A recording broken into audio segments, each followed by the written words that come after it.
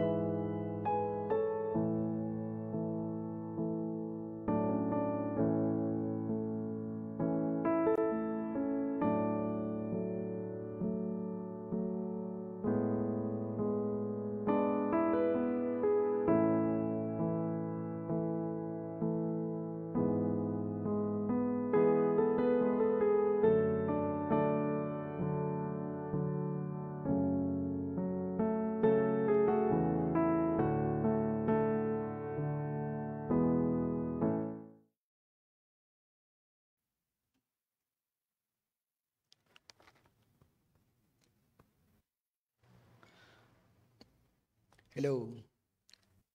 Good morning. Good morning to everyone. Kamusta po kayo mga kapatid sa umaga pong ito? Ako po ay ah, bumabati po ng magandang umaga sa bawat isa. Ah, sa lahat po ng mga nakasubaybay sa atin pong live broadcast sa umaga pong ito, I am praying that our God may ah, bless us ah, today, that we may receive a full abundance of grace sa atin pong Panginoon sa araw po na to. Naunawaan ko po na ang atin pong kalagayan sa pagkakataon po na ito ay ah, maaaring ah, hindi po sumasapat sa atin pong pangailangan, ngunit sa kabila po nit noon ay dapat po tayong magpasalamat po sa atin pong Panginoon dahil meron pong live broadcast. Amen po ba? Amen. Sige po, ah, purihin po ang Panginoon ay ako po ay napagpala sa atin pong pagsamba sa umagang ito. Nawa ay ganun din po kayo. Bago po ako magbahagi ng salita po ng Diyos, allow me, brethren, to share first our trust at, at this moment, which is to pray for our nation, for our fight against COVID-19. And of course, it's always our prayer concern um, to pray for our uh, church ministries, our young people, our kids, every family of Deeper Life, and all the workers of our ministries. And just to give you an update uh, about a concerning matter in our COVID cases um, recently or just as of yesterday. So we can see that our new cases is continually increasing day by day. So last week, March 19, we just recorded 7,000 new cases in one day. But after one week, on March 26, it's surprising and it's, it's alarming, mga kapatid, because we recorded the highest new cases of 9,800. And that's a big jump from uh, 7,000 to uh, 9,800. And uh, we have res- registered a record, record high of 118,000 cases active COVID, uh, positive in, in COVID as of yesterday. So that's our uh, uh, urgent concern ngayon, mga kapatid, as, as a Christian, bilang isa pong mananampalataya ay uh, dapat po nating ipanalangin ang ating pong kalagayan. Alam po natin na ang Diyos ay meron pong programa sa kanya pong iglesia at sa mga panahon po na ito. Subalit, ang atin pong pagpapanalangin ay dapat po nating iukol para po sa katuparan ng uh, mga plano po ng Diyos sa pamamagitan po ng bawat isa po sa atin. At alam po natin na ang layunin po ng Panginoon ay maranasan ng bawat uh, bawat inibig po ng Panginoon na sila ay maligtas. Na sa panahon po na ito ay maranasan po nila ang pagliligtas ng ating pong Panginoong Kristo at sila ay magkaroon ng buhay na walang hanggan. So, before uh, I share the word, mga kapatid, can I just invite you for a prayer wherever you are. Uh, if you are watching right now in our FB Live broadcast, and if you are DLCC members, whoever you are, whatever you do right now, I am inviting you to stand up in prayer.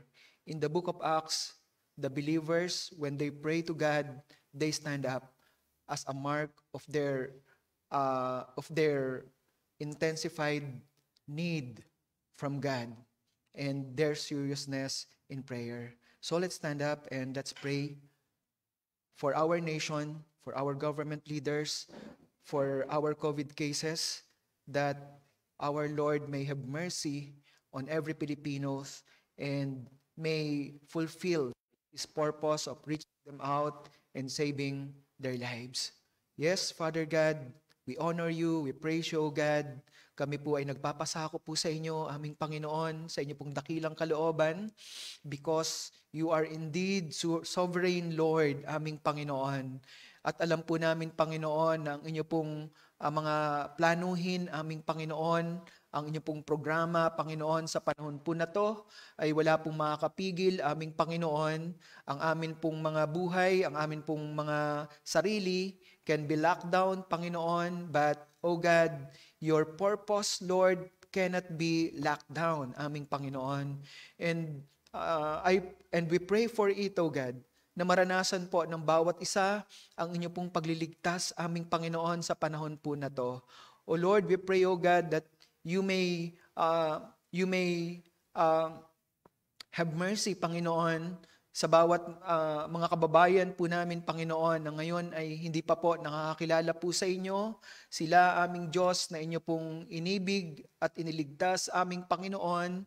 O God, let them, O God, hear your gospel, Panginoon, and for them to be saved, aming Panginoon. Fulfill your, your saving work, Panginoon, your saving plan, aming Panginoon, sa mga tao po na ito, na sa panahon po na to, aming Diyos ay maaring sila ay meron pong pagkabagabag at lubos po na pagkatakot aming Panginoon. And for the benefit, Lord, of all uh, nation, Panginoon, of our nation, aming Diyos, we pray, Panginoon, that you may uh, help us, Panginoon, in in managing, Lord, the uh, difficulties, Panginoon, na amin pong nararanasan sa panahon po na to, especially, Panginoon, in uh, fulfilling, Panginoon, and uh, uh, uh, getting, Panginoon, uh, medications, Panginoon, sa lahat po ng mga uh, COVID positive aming Panginoon. Help our leaders, O God, our nation, Panginoon, our uh, president, our congressman, our senators, and every government officials, Panginoon, we pray, Lord, that you may use them, Panginoon, as your uh, instrument, Panginoon, to uh, reach out, O God, those who are in need of medications and of vaccines aming Panginoon. We pray, Panginoon, that every Pilipino, Panginoon, may be blessed, Panginoon, by your grace, O God, and by your mercy, Panginoon, makita po namin ang inyo pong mga kamay na umaabot, Panginoon, sa buhay po ng bawat isa. At sa lahat po ng ito, aming Panginoon, ay maluwalhati po kayo. Makita po, Panginoon, ng sambayan ng Pilipino, ang Diyos po na nagliligtas, Panginoon, at ang Diyos na umaabot sa kanila pong mga buhay. Maraming marami pong salamat, Panginoon. As a nation, Panginoon, kami po ay nananalangin, Panginoon, na inyo po kaming uh, abutin, Panginoon, sa panahon po na ito at kami ay inyo pong kahabagan. Salamat po, aming Diyos, And I pray, Panginoon, uh, for our members in Deeper Life Community Church, Panginoon, na ang inyo pong pag-iingat ang inyo pong pagliligtas, Panginoon, sa anumang sakit at karamdaman sa panahon po na to, sila po ay inyo pong mapangalagaan, aming Panginoon. Salamat po, aming Ama, and we are praying, Panginoon, that our ministry, Panginoon, may continue whatever happened, Panginoon, sa situation po, sa mga susunod po na araw, Panginoon, because uh, this week, Panginoon, is again, uh, renewed, tightened implementation of, of, of uh, the protocols, Panginoon, uh, for COVID, aming Diyos. Kaya kami po ay uh, labis lamang po na umaasa ang inyo pong patuloy po na pag-abot ay mararanasan po ng bawat isa aming Panginoon. Hallelujah. Salamat po, Panginoon. And we pray as well, Panginoon, for the word that we will share together today, Panginoon. Bless this word, O God, and uh, may the power of your word, O God, uh, emanate to us and change our heart, Panginoon. Change our heart, O God. And please, Lord, allow us once again to refresh our spiritual life aming Panginoon at kami po ay inyo pong patuloy po na mapunuan sa spiritual po naming mga pangangailangan. I am praying, Panginoon, that your word, so God, may, be, may, may become a power that will move us as we hear and listen to it. Salamat po aming Panginoon. This is our prayer in Jesus' name. Amen and amen. Purihin po ang Panginoon. Tayo po ay magpapatuloy sa ating pong pag-aaral at pakikinig ng salita po ng Diyos. For the meantime, we will stop in our series in the book of Colossians for the benefit of everyone. I am sharing today um, from the books of Ephesians chapter 6, verse 10 up to 20. And uh, this study is entitled Standing Firm. So be with me mga kapatid in your Bible in Ephesians chapter 6 verse 10 and verse 20.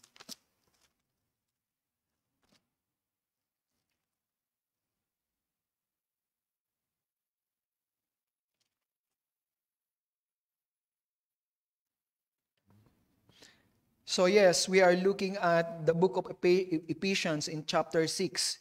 And we are very familiar in this chapter because uh, most of the time we look at the portion in verse 10 up to verse 20 about the whole armor of God. I'm sure that this is not the first time na pinag-aralan po natin to.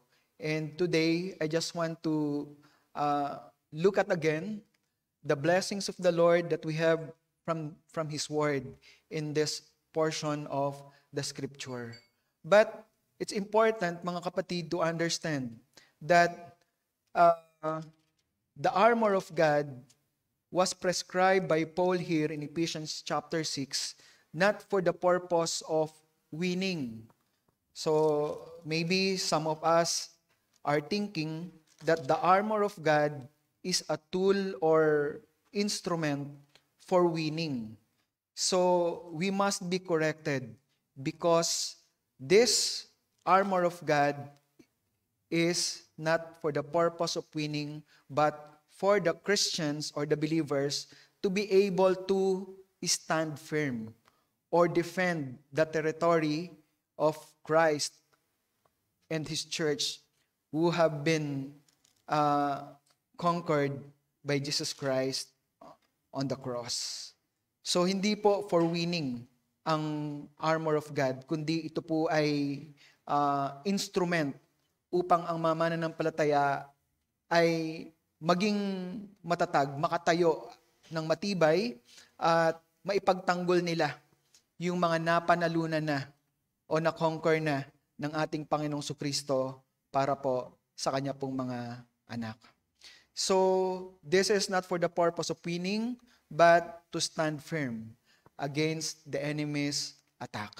In verse 11, that is our key verse, Ephesians chapter 6 verse 11, please take note of that in your Bible. It says here, put on the full armor of God so that you will be able to stand firm against the schemes of the devil. So that's the key verse. That's why we know that this full armor of God is not for winning, but it is for a believer to stand firm, to be able to stand firm against the scheme of the devil. So if we are Christians, if we are believer, it's interesting for us. It should be interesting for us to look at the details of every pieces of this armor. What are the use of this armor na meron pong na meron po ang Diyos para po sa kanya pong mga anak. So um, today mga kapatid, I would like to start in this perspective that being a Christian we need to know or we need to understand that every day we are into battle. Nasa pakikibaka tayo every day. Every moment of, of our lives are into battle. Simula po nung tayo po ay maging anak po ng Diyos, upon the time of our salvation, we are already placed in a battle against our enemy, and that is Satan and his evil works. And just like what uh, this movie uh, is saying, that we should remember who the real enemy is. Tama po ba? So, sino po ba ang tunay po nating kaaway? Ngayon po, ang lahat po ng mga tao, karamihan, maaring ang iba ay hindi, pero ang karamihan, most of the people, are looking at COVID-19 as an enemy. So, COVID-19 is a virus and it, brings pandemic globally. So, maybe most of the people in the globe is thinking that uh, this COVID-19 is our enemy, is the enemy of our lives. But in Ephesians chapter 6, mga kapatid, uh, Paul specifically describe who are our real enemy. Sinabi po dito ni Pablo, sino po ba talaga ang tunay po nating kaaway? And to make it short, if we are looking at COVID as an enemy, I would like to say that COVID is just like is a sickness just like cancer which is fatal. Mas nakamamatay po ang cancer uh, kaysa po sa, sa COVID. Di po ba? And uh, cancer is just a sickness in our perspective. It's not an enemy in our mind. But COVID-19, maybe we're thinking that this is our enemy. If we look at COVID, ano po ba talaga ang, ang, ang kaaway natin sa context po ng, ng COVID? Ang tunay po nating kaaway sa context po ng COVID is our fear, yung atin pong pagkatakot. Because COVID brings death and therefore we fear. But for Christians, according to Paul, death is the time of his victory. Ang kamatayan para kay Pablo ay pagtatagumpay. Ang sabi niya, ang mabuhay ay kay Kristo, ngunit ang mamatay ay tagumpay. So in the mind of a believer, death is not fearsome. Hindi po nakakatakot. Pero bakit po tayo na babahala sa mga panahon po na to nang dahil po sa COVID? You know why? Because there is because COVID brings fear to us. And the original source of fear is Satan. That is the enemy of faith. Ang kalaban po ng pananampalataya ay faith, I, I, ay fear. And that is my point for bringing this full armor of God once again in our lesson. Okay. So, what does our enemy brings to us? Fear just like the fear of COVID. So, in our text, please be with me. In Ephesians chapter 6, verse 10 up to 20, it says, Finally, Be strong in the Lord and in the strength of his might. Put on the full armor of God so that you will be able to stand firm against the schemes of the devil. For our struggle is not against flesh and blood, but against the rulers, against the powers, against the whole forces of this darkness, the spiritual forces of wickedness in the heavenly places. Therefore, take up the full armor of God, so that you will be able to resist in the evil day, and having done everything, to stand firm. Stand firm, therefore, having girded your loins with truth, and having put on the breastplate of righteousness, and having shod your feet with the preparation of the gospel of peace. In addition to all, taking up the shield of faith, which with which you will be able to extinguish all the flaming arrows of the evil one, and take the helmet of salvation and the sword of the Spirit, which is the Word of God. With every prayer and request, pray at all times in the Spirit, and with this in view, be alert with all perseverance and every request for all the saints, and pray in my behalf that speech may be given to me in the opening of my mouth to make known with boldness the mystery of the gospel, for which I am an ambassador in chains, that in proclaiming it, I may speak boldly as I ought to speak. So, mga kapatid, yan po ang nilalaman po ng atin pong pag-aaral sa araw po na to. I have three points dito po sa atin pong pag-aaral. First is putting on the full armor in verse 10 up to 30. In verse 10, it says, Finally, be strong in the Lord and in the strength of his might. So it says that believer has to be strong in the Lord. In New International Version, it says like this, Finally, be strong in the Lord and in His mighty power. So first, to be made or to be done. So nasa punto na po, ang sinasabi po dito ni Paul, tayo po ay nasa point na na ang atin pong kalagayan ay kailangan po nating magpakatatag sa Panginoon. So our situation now, according to Paul, is finally at the point of becoming in the Lord. In chapter, in, in the previous chapter, from chapter 1 up to chapter 4, Paul uh, discussed how we were saved. Kung paano po tayo naligtas. And nakita po natin doon that every believer was predestined by God for salvation. And today mga kapatid, we are a Christian. So the the the the next chapter after chapter 3, which is chapter 4, is are already at chapters that concludes our situations, that concludes what should be our life. Ano yung dapat na buhay natin? Ano yung dapat na perspective natin? Ano dapat ang natin sa mga bagay-bagay? Katulad po, sabi sa chapter 4, verse 1, Therefore, I, the prisoner of the Lord, so Paul is a prisoner of the Lord, as a believer.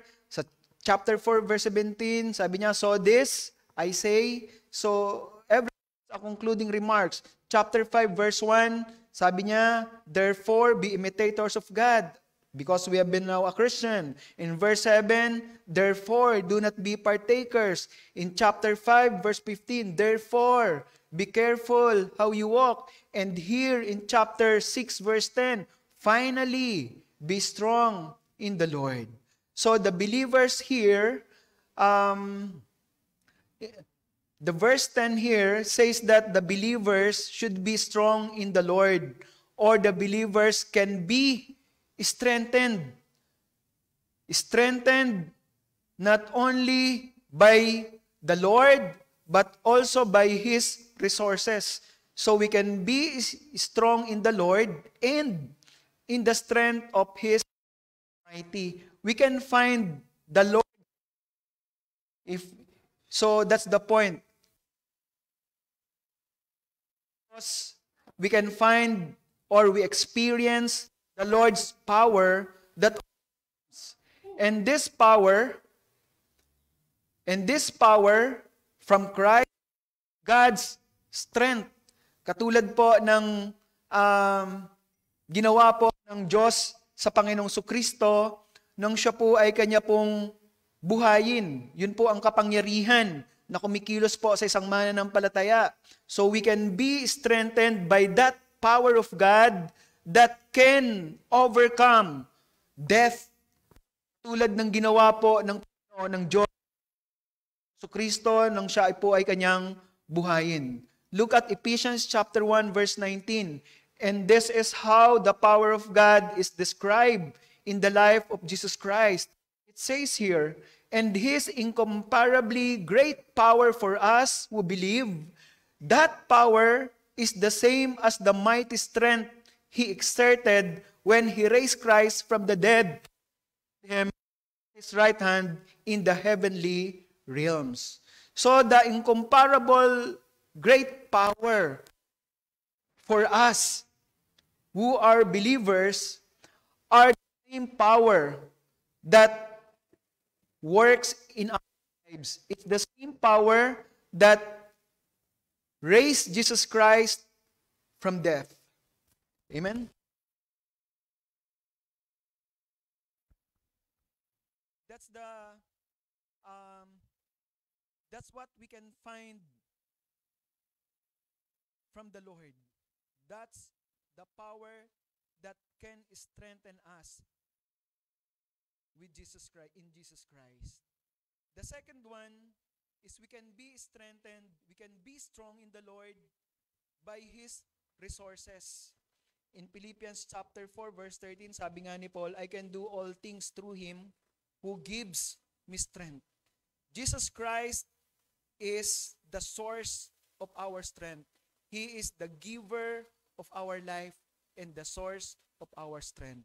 And Paul is telling us to subscribe from Jesus Christ, to subscribe strength from the Lord. That is what he's trying to say by saying, Be strong in the Lord. So, the second point in verse 11, B, says that put on the full armor of God so that we will be able to stand firm against the scheme of the devil. So, the second point that we can see here is Paul is advising or instructing the believers to put on God's armor. So we can we can be strong in the Lord uh, through His power, and by His resources we can be strengthened. But there is more. There is more. There is more, which is the God's armor that we need to put on on our lives. And to put on means we as believers should be responsible for putting on this full armor.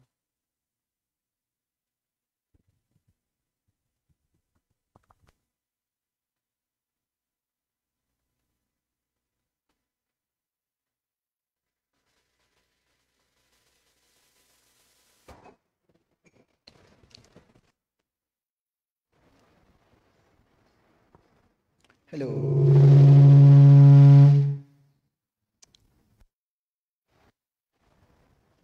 Amen. Uh, we are responsible as believers to put it on, to put on the full armor of God. It's God's armor, it's not our armor. We are responsible to put it on. And the armor, our weapons, we can put on all together. Greek, pla. So, hapla means, hapla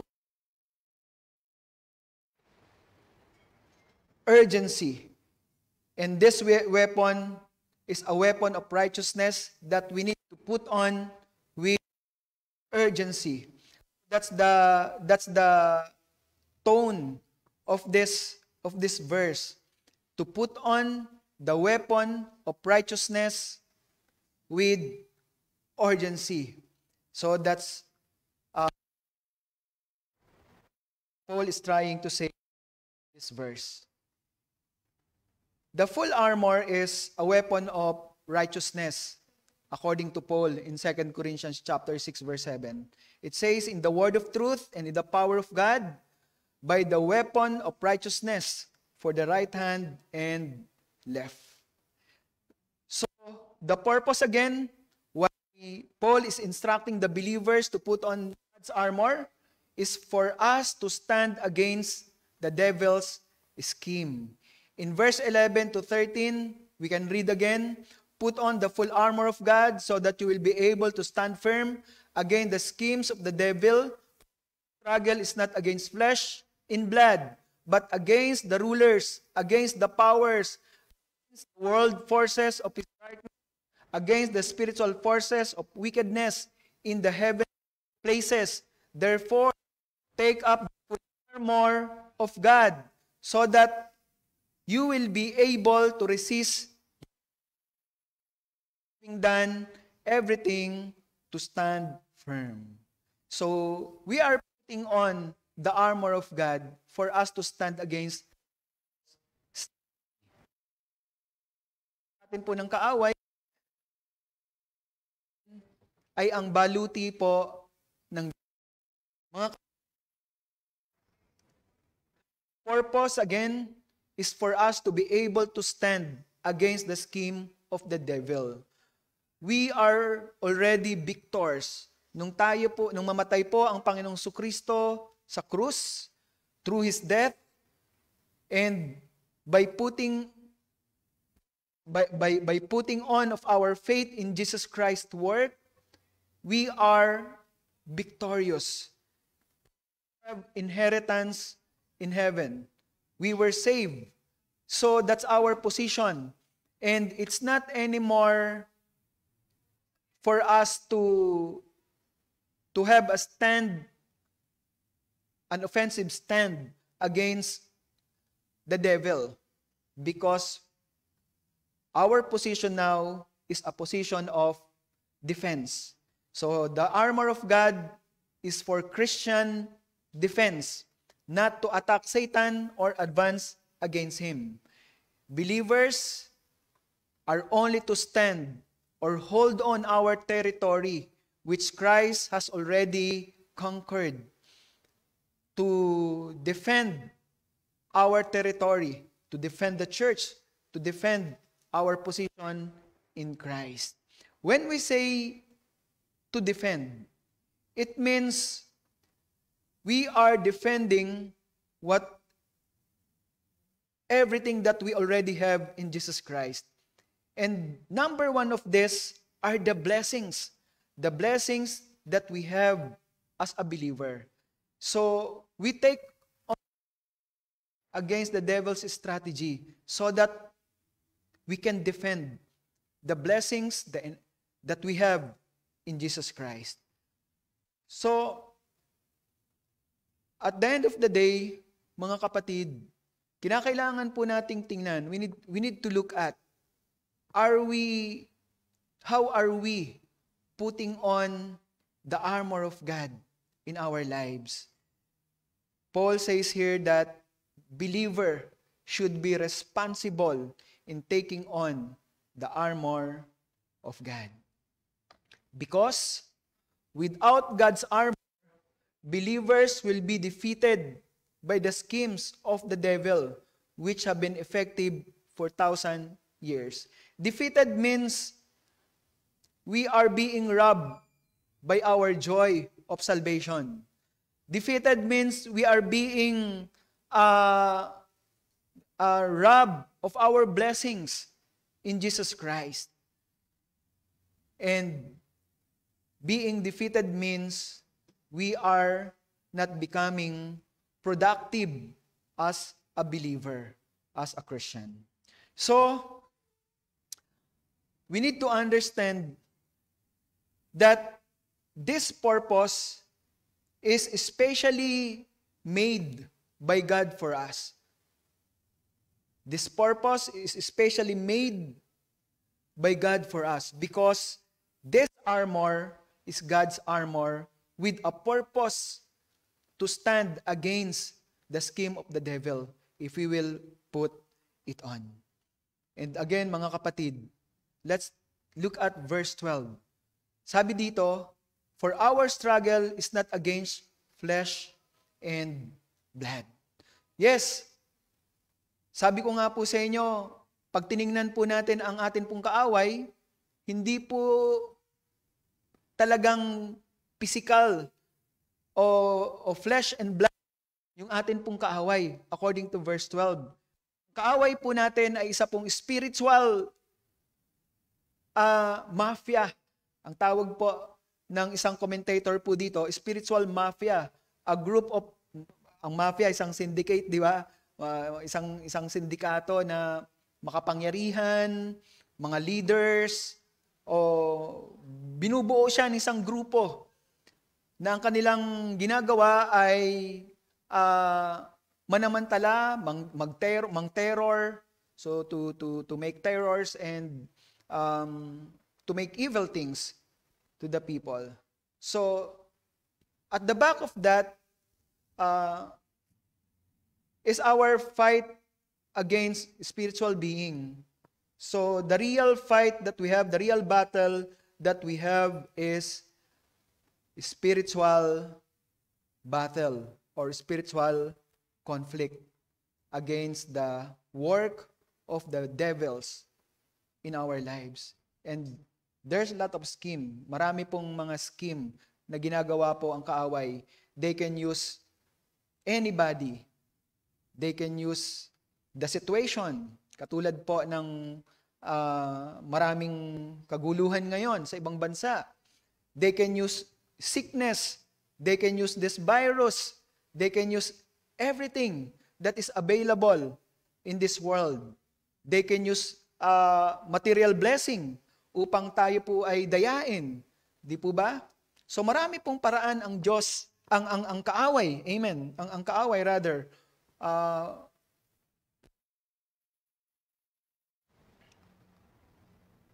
to bring uh, struggles in, in the believer's life.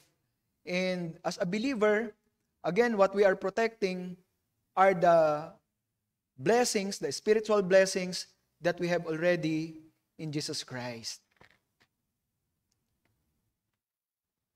Yes, we have spiritual blessings. In Ephesians chapter 1 verse 3 says, Blessed be the Lord and God, blessed be the God and Father of our Lord Jesus Christ, who has blessed us with every spiritual blessings in the heavenly place in Christ. In Romans chapter 8 verse 28, it says, God causes all things to work together for good to those who love God, to those who are called according to His purpose. So, Christians have, have, have enough blessings from the Lord. Even bad situations are blessings to a Christians because it says in Romans chapter 8 verse 28 that all things work together for good for those who love God, for those who are believers and they are called according to his purpose. In James chapter 1 verse 17, it says every good and perfect gift is from above. Yes, we have good and perfect gift from our God, coming down from the Father of the heavenly light, who does not change like shifting arrow. We have good and perfect gift from our God that comes down from heaven. And His, His blessings are not changing. He, And, and this God, who have the perfect gift, does not change on His promises. Hindi po siya nagbabago sa kanya pong mga pangako. So,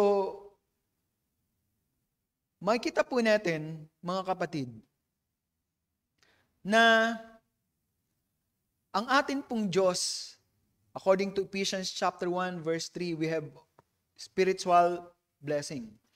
So, makikita po natin that God in His providence, sa divine providence po na meron po tayo sa atin pong Diyos, God has already given believers total blessing.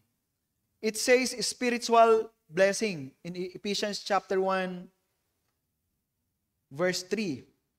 Spiritual here does not mean immaterial blessing because the opposite is of material is spiritual. But this spiritual does not pertain to immaterial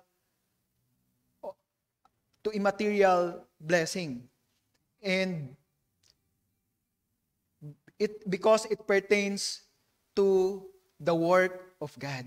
The spiritual blessings here from God it pertains to ginagawa po niya sa atin na mga mananampalataya.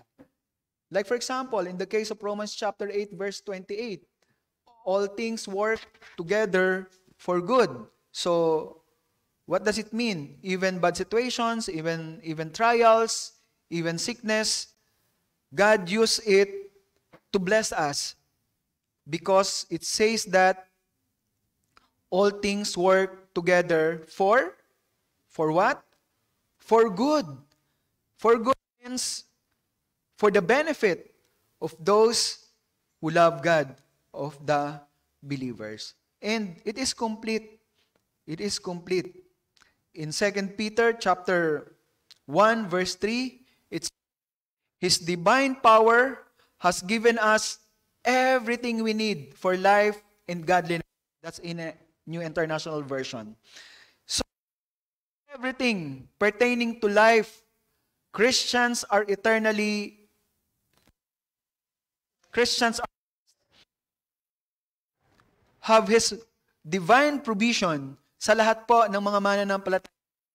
So, it's not just uh, eternal security. Hindi lamang po yung eternal security ang, ang blessing po sa atin po ng atin pong Panginoon. Eternal security means our salvation that cannot be out by by anybody or ang na hindi nawawala. Salvation that is secured forever. It's not the only thing that we have pertaining to life. When we say everything we need for life in godly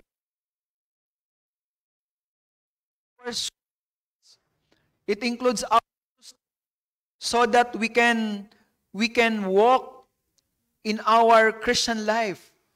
So, kung tayo po ay nakakaranas po ng kahirapan, poverty is not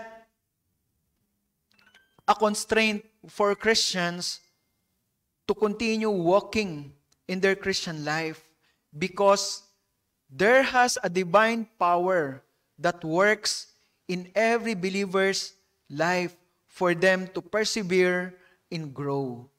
And of course, the sustenance includes material provision sa atin pong buhay. When we say everything we need for life, pati po yung atin pong mga kinakain. Hindi po tayo pagkukulangin ng atin pong Panginoon. So,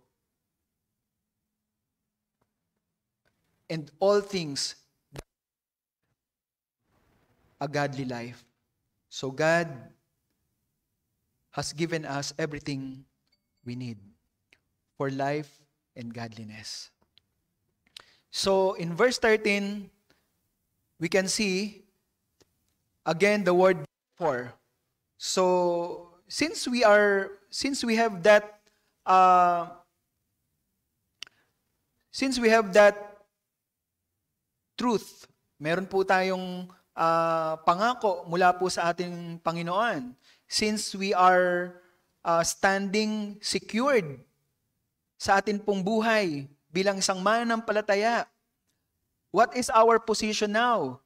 Our position now is to walk victoriously upang ang, ang position na po natin ngayon ay maglakad victoriously because Jesus Christ has already uh, conquered our enemy on the cross. So tayo mga mananampalataya is now living victoriously.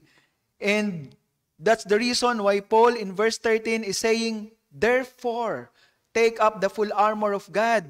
So that is for the reason that yung yung enemy po will not be able to to um,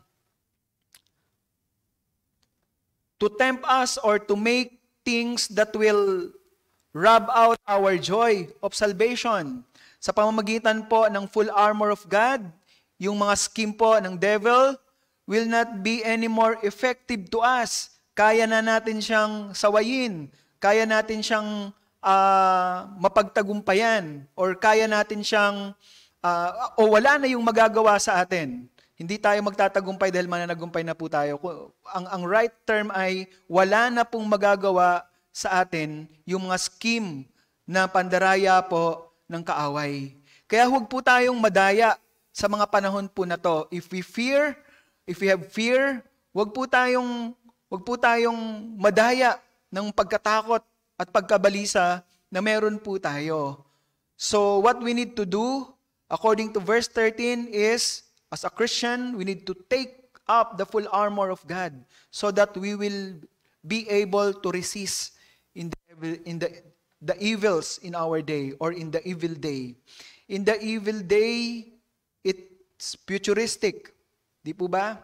It, it, it connotes that the days in the future will become more and more evil. Katulad po ng sinabi po ni, ni Paul kay Timothy, that in the last days, people will be lovers of themselves, will not anymore listen to the sound doctrines, and they will just listen to what, to what is good on their ears. At maaaring uh, iba't iba pong mga pagsubok o kahirapan ang mararanasan po ng mga tao. So, for us, kung tayo po ay nakakaranas ng ganon, ganong, ganong pagkabalisa, ganong pandaraya, ganong pagkatakot, mga kapatid, please be reminded that it's our responsibility to put on this armor so that we can be able to resist the evil of our days and for us to stand firm, to stand in defense. Amen? Second, standing with the armor. So we have now the armor. We have put on the armor. So Christians now should be standing firm. Tayong mga mananampalataya, if we have put on the armor, we should now be standing firm. Of course, with the armor. So let's look at the mandate. The mandate is to stand. Stand firm, therefore. Stand firm, therefore. And this, therefore, connotes urgency. This mandate denotes urgency. And, and this mandate um, requires us to be armed to arm ourselves with first belt of truth in 40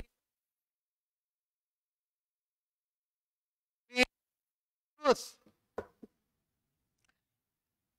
So the truth refers to a believer's integrity and faithfulness.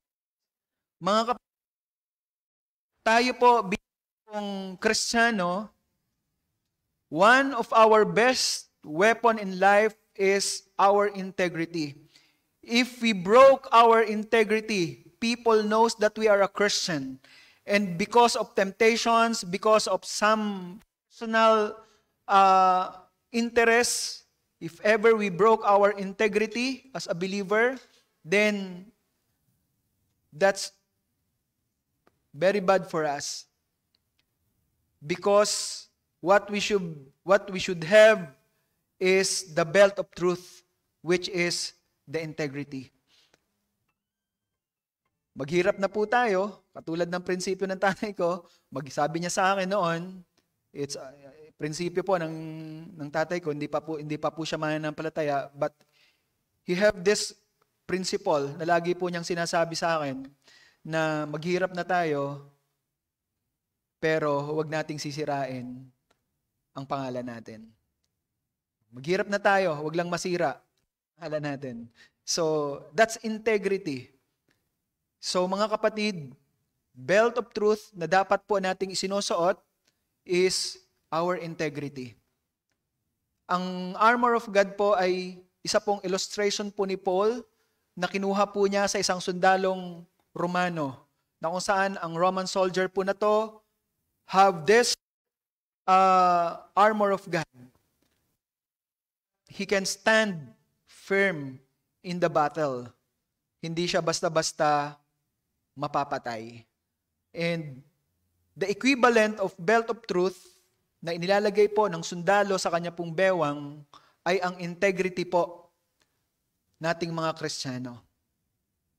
It is not the truth about the gospel, but it is the believer's integrity and faithfulness.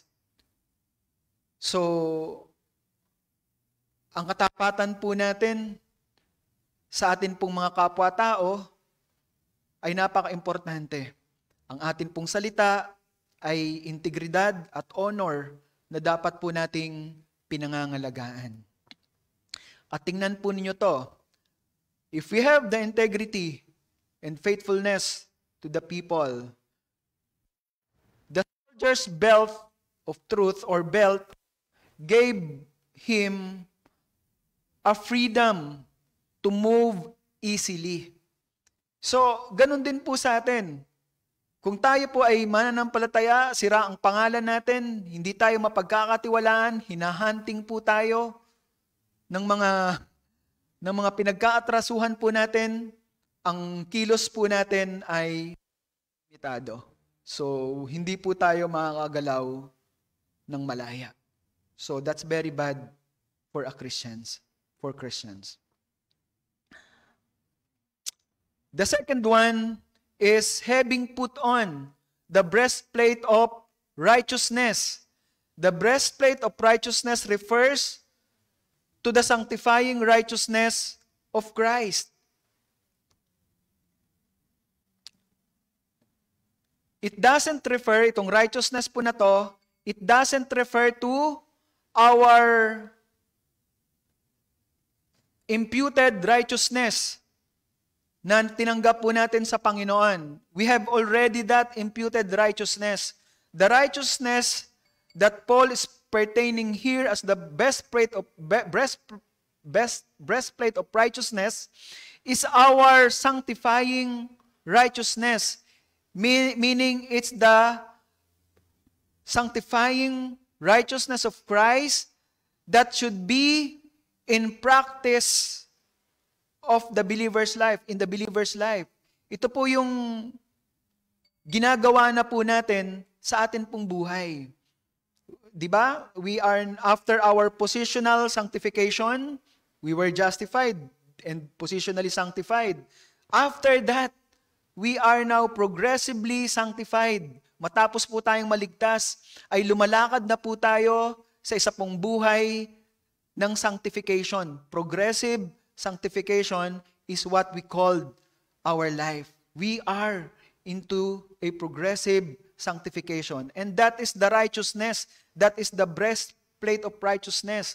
The sanctification that we should practice in our life today. Ano po ang uh, kahalagahan? What's the importance of having this uh, righteousness being practiced in our life. Just like the Roman soldiers having his breastplate protected his chest, So, ang isa pong sundalo na meron pong breast, breastplate ay protektado po ang kanya pong chest, ang kanya pong dibdib. Laban po sa atake po ng kaaway against the enemy's attack, attacks. So, that is our guard. Yung, sanctif- yung, yung righteous, sanctifying, sanctifying righteousness po na yan is our guard.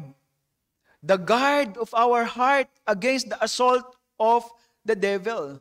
Last Sunday, I gave you an example how I, I, I, how I manage resisting temptations in my workplace. When I was in sales department, marami pong mga temptations. There are temptations from my office mates, yaya dito, yaya doon. So, so how I was able to protect my, my Christian life, myself. First is, I declared that I am a Christian. So, so every time that they um, invite me, every time they invite me to to a nightlife, uh, inuman, or kung ano pang mga kalokohan, alam mo naman sa nightlife, so it always come to my mind that they know that I am a Christian. So my testimony is working for me because it guards my heart from sinning. It guards my heart from sinning. The second thing I did was to start leading a prayer. Every time there's a meeting, I lead a prayer. So they see my integrity. They were able to see my integrity as a Christian because I opened my life to them that I am a true Christian. So that's how I was protected by my testimonies. In verse 13, it says, And do not go on presenting the parts. Okay. Uh, Romans chapter 6, verse 13 says, And do not go on presenting the parts of your body to sin as instrument of unrighteousness, but present yourselves to God as those who are alive from the dead and your body's part as instruments of righteousness for God. Yes, yan po ang sabi po ni Paul sa Romans chapter uh, sa Romans chapter 6 verse 13 na huwag nating ihain yung bahagi ng ating katawan sa kasalanan because that can be used, that can be an instrument of unrighteousness. So we need, we we, we need to protect ourselves, our body, the parts of our body against sin.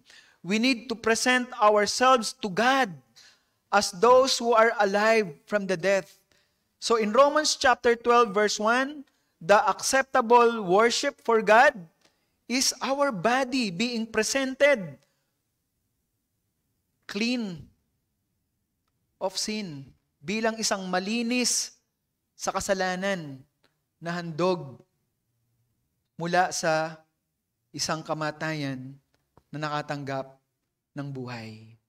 So, that's how important, mga kapatid, that as a Christian, we walk as a Christian. Let people see our Christian life let the light of Jesus Christ be evident to our lives because that is our breastplate of righteousness. It protects our heart from deceptions. Verse 15 says, And having shod your feet with the preparation of the gospel, suotan daw po natin ang ating mga paa ng ibanghelyo ng kapayapaan. So the gospel of peace doesn't refer to a gospel salvation. refers to a believer's stability from the gospel. So, ibig sabihin, if we shod our feet with the preparation of the gospel, it means a believer is becoming stable from the gospel. So, paano po tayo nagiging stable? Sa Ibanghelyo. So, we are standing on the truth of the gospel. So, tinatayuan po natin yung katotohanan po ng Ibanghelyo. We stand on it. Tinatayuan po natin. At ito po ay nagbibigay po sa atin ng kapayapaan. Sapagkat ang Ibanghelyo po ay Ibanghelyo po ng kapayapaan. So, it doesn't pertains to our work of evangelism through the gospel, but the gospel of peace here na sinusuot po ng isa pong Roman soldier as, as, as, as uh, uh, bilang bilang kanya pong footwear, uh, pangyapak po na kasuutan ay ang kanya pong stability, yung kanya pong pagiging uh, stable o sa kanya pong pagiging matatag sa pagtayo sa itinuturo po ng Ibanghelyo ng Diyos. At para po sa isa pong sundalo, na katulad po ng isa pong Roman soldiers, yan po ay nagbibigay po sa kanya ng uh, kapayapaan Nag-aalis po ng kanya pong takot sa gitna po ng labanan. In verse 16, it says, in addition to all. So, meaning, lahat po ng mga nabanggit, simula po doon sa unang-una pong um, uh, verse, ang belt of truth, at ang breastplate of righteousness, at ang gospel of peace, meron pong karagdagan. Ang sabi po dito, in addition to all, meaning the belt of truth, the breastplate of righteousness, and the gospel of peace is incomplete without the shield of faith. In addition to all, take up the shield of faith, which you will be able to extinguish the flaming arrows of the believer. Ano po yung shield of faith? Ang shield of faith refers to unwavering faith. Ito po yung pananampalataya po na matibay, matatag, hindi po katulad po sa isip ng tao na pabago-bago. It's not like the mind of people who keeps on changing. The shield of faith here refers to a stable and unwavering faith. And that, that, that stable and unwavering faith, isang matibay at matatag po na pananampalataya, yan po ay defense. Defense po ng isa pong mananampalataya. Katulad po ng isa pong sundalo, ang shield ay defense po niya sa mga arrows na bahala ng kanya pong kaaway. Ganon din po ang atin pong pakikibaka sa atin pong buhay bilang sa pong mananampalataya. The enemy is also throwing us flaming arrows according to verse 16. And this shield of faith extinguish. So pinapatay po itong mga flaming arrows because just like the Roman soldiers shield, yung mga shield po ng mga Romans are at makakapal po na leather, thick leather, na it's soaked to an oil. So that if the flaming arrow will hit that shield, it will extinguish the flame. So kailangan po natin ng defense para po sa mga flaming arrows at atake po sa atin ng atin pong mga kaaway. Mga kapatid, ano po ang experience po natin sa panahon po na to? What do you think are the flaming arrows today in your lives? What are the enemy's flaming, flaming arrows that is being thrown out to you today? Again, our stand is not to offense, but to stand firm in defense.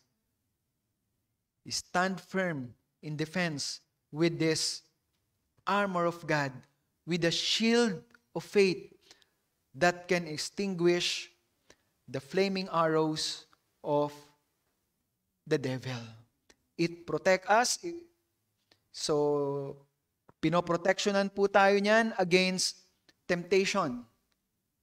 Against temptation of sins. Against lies of the devil. Marami pong pandaraya at kasinungalingan po ang kaaway. So, hawakan po natin ang ang atin pong pananampalataya. Hawakan po natin ang mga pangako po ng Diyos. Let's hold on to the promise of God rather than to the promise of the people. Hawakan po natin ang ang hope, ang pag-asa ng pangako na ibinigay po sa atin ng atin pong Diyos. Let's continue trusting our God. Kung kayo po ay nakakaranas po ngayon ng uncertainty, you know, you don't know what will happen tomorrow. Uh, for example, if you are into, if you are a COVID patient, marami pong mga uh, COVID, marami pong mga tao, they have fear of COVID because of what it brings to them, because of the fear of death. But mga kapatid, if we will shield, our, if we will, if we have the shield of faith, if we have trust in God, kung patuloy po tayo, magtitiwala lamang po tayo sa Panginoon, this fear against COVID can be extinguished by this unwavering faith. Hawakan po natin ang pangako po ng atin pong Panginoon that in every day, ang Diyos ay kasama po natin. He never changed. Hindi po siya nagbabago. If we are sick, na, kung nahit po tayo ng COVID, let's pray to the Lord. Marami pong mga nagkasakit po ng COVID, nanalangin po sa Panginoon, and they get healed. Because God have His own purpose. Why everything is happening to us. Romans chapter 8 verse 28, i-memorize po natin yan. All things work together for good. Kung magkasakit po tayo, let it be. Let's trust God that He has His better purpose hindi po natin alam. Mga kapatid, meron pong isang uh, kaibigan na nagtanong po sa akin na siya po ay nawawala na po ng pag-asa sa kanya pong career. Hindi na po niya alam kung ano nangyayari po sa kanya because despite of uh, yung kanya pong magandang credentials, maganda pong academic records, mag, uh, magandang experience po sa trabaho, pero nung nawalan po ng trabaho dahil nagkaroon po ng pandemya, wala po siyang ma-applyan. Wala pong tumatanggap po sa kanya ng mga kumpanya sa mga panahon po na to. And he is now losing his uh, his uh, confidence. Nawala na po yung confidence po niya sa kanya pong sarili. The best way to look at life today, mga kapatid, is to look at through the eyes of our faith. Tingnan po natin ang atin pong buhay, ang mga kaganapan sa pamamagitan po ng mata ng atin pong mga pananampalataya. Let's look at the promises of God. He will never forsake us nor He will never leave us nor forsake us. Ang isa po sa mga pangako ng Diyos sa kanya pong mga anak. The last The last point that I have here in verse 17 to 20 says, receiving the final piece of the armor. Naisuot na po natin. Ano na po yung mga naisuot po natin? Belt of truth, breastplate of righteousness, a gospel of peace, and in addition, yung breastplate, yung, yung shield of faith. So, but in verse 17 to 20, sabi doon, and take the helmet of salvation and the sword of the Spirit. So there's two more final piece na idinagdag po dito sa verse 17. And the mandate is to take it, to receive it. So, to receive it. So, the helmet of salvation is not the salvation that we are receiving because in truth, we're not receiving salvation.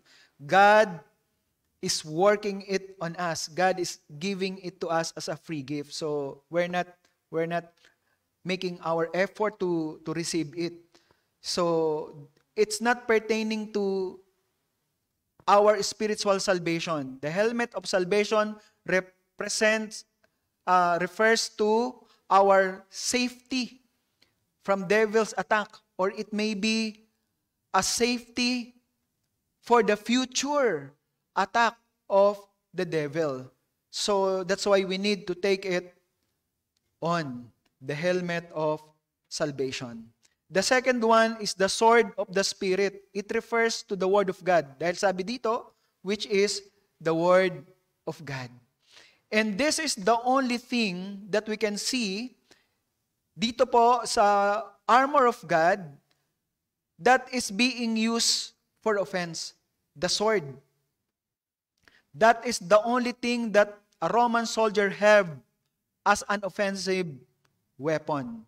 Everything in the armor is for defense, upang maging defensa po niya.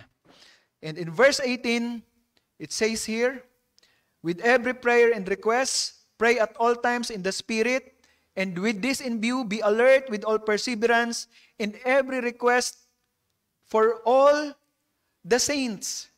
So verse 18 tells us about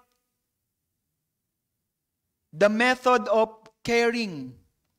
So the method of caring as a Christian, kung tayo po ay nakasuot po ng uh, armor of God, so tayo po ay ready for defense, uh, we are standing firm, and we have the, the, the, the sword of the Spirit.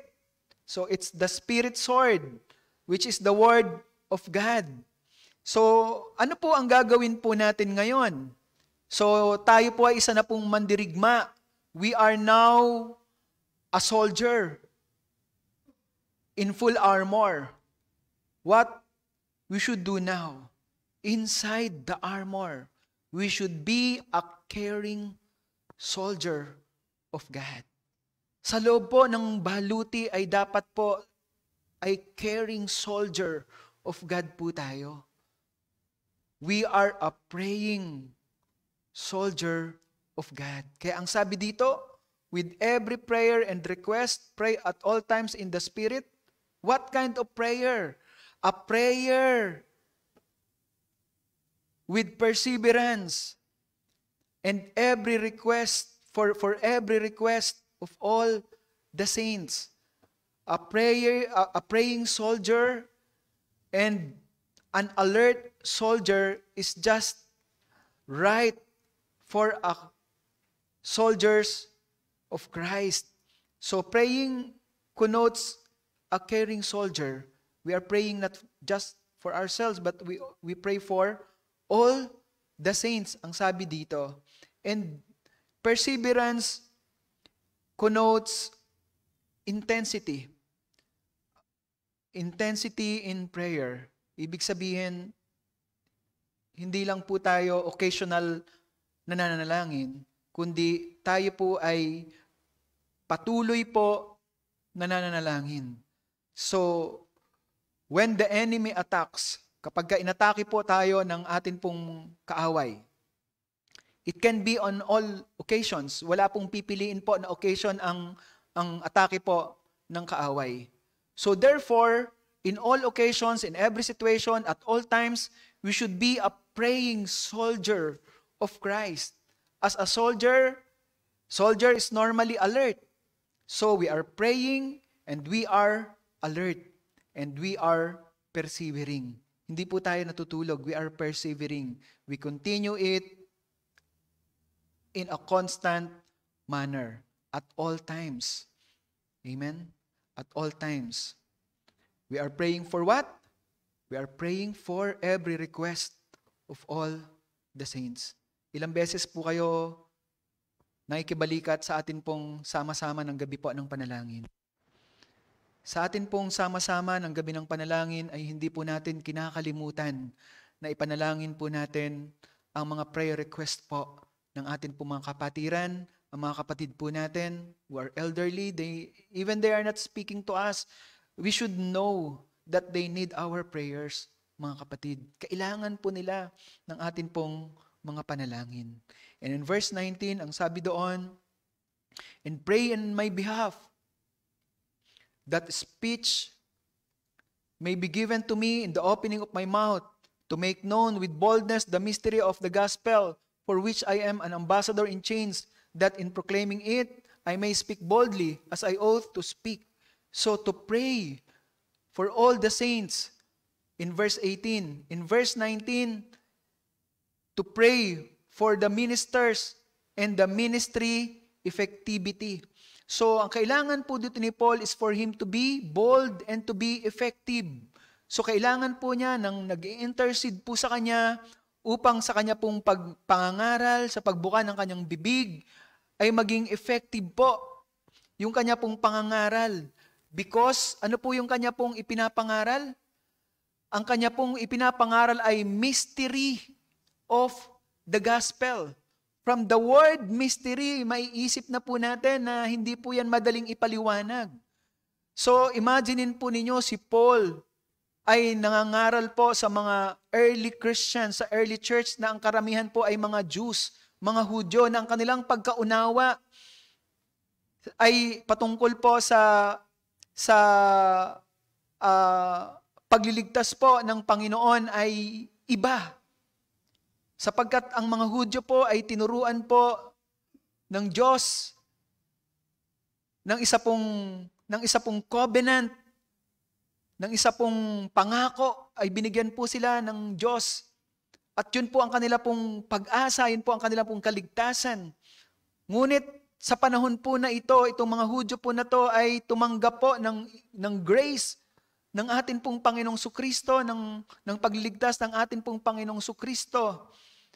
Sa panahon po na to, ang kaligtasan ay sa pamamagitan po ng grace ng Panginoong Sukristo. That's why it's now a mystery of the gospel na hindi po nauunawaan po ng mga Hudyo.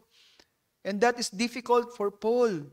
Kaya ang kailangan po niya ay panalangin na magbibigay po ng boldness at ng uh, kapangyarihan upang maunawaan ang kanyang ibanghelyo ng, pagli, ng ang ibanghelyo ng kaligtasan. Sa atin po, mga kapatid, sa atin pong ministeryo, sino po ang nananalangin sa inyo para sa atin pong ministeryo? Nakontento na po ba tayo na nakikinig na lang ng mga panalangin ng iba?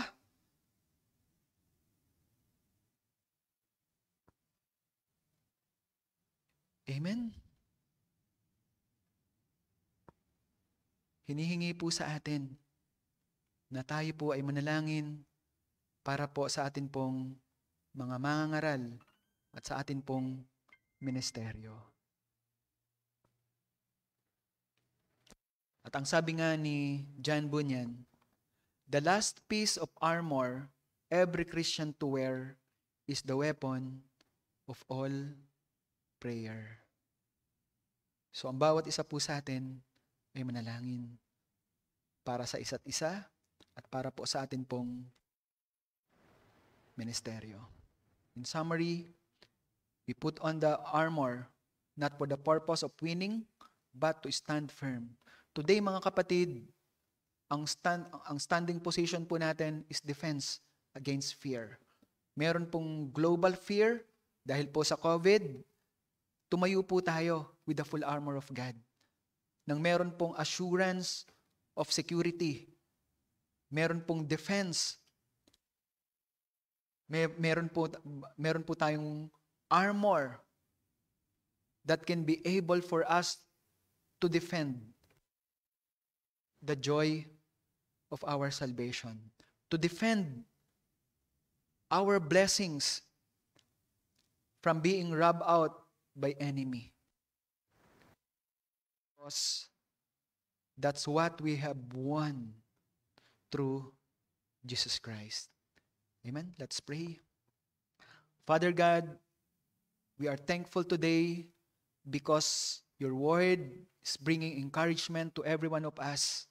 And I just pray, Panginoon, sa akin po mga kapatiran, sa pagkakataon po na to, na kami po, O Diyos, ay patuloy po na tumingin aming Panginoon sa inyo pong mga salita, aming Panginoon, sa inyo pong instructions, aming Diyos, na kami, aming Ama, ay ah, tumayo ng matibay to stand firm with the full armor of God, with the belt of truth, aming Panginoon, na kami ay tumatayo, Panginoon, sa ah, Ebanghelyo ng kapayapaan, aming Diyos, na amin na ito po ay amin pong natatanggap sa pamamagitan po ng pakikinig at pangangaral ng inyo pong mga salita sapagkat ang inyo pong mga salita ay nangungusap po sa amin pong mga puso. Sa pamamagitan po, Panginoon, ng ah, ng breastplate of righteousness na ito po ay ang amin pong mga integridad, aming Panginoon.